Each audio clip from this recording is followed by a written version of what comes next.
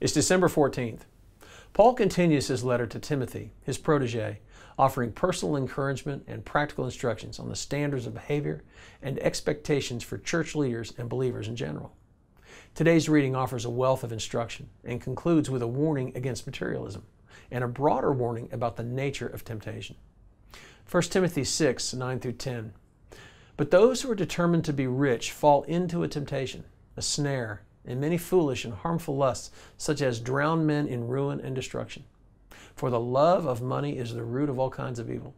Some have been led astray from the faith in their greed and have pierced themselves through many sorrows. Paul warns of allowing ourselves to be trapped by desires that plunge us into ruin. Both Paul and Jesus repeatedly warn against being ensnared or carried away by the lusts and desires within our hearts. How sobering that these evil lusts and desires are within us.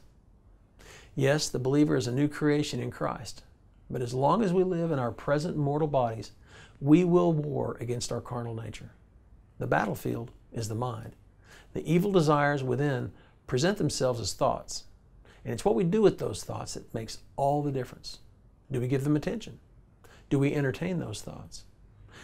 Our willingness to entertain them largely determines whether these thoughts become lustful desires.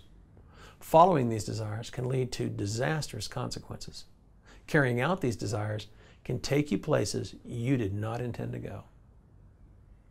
Here's today's application Examine your heart. Confess any impure desires to God and to other people if needed those that you trust to help you walk in transparency and integrity. Set your heart on wholesome and noble things. Take every thought captive to the obedience of Christ. As you do, you guard your heart and your mind in Christ Jesus.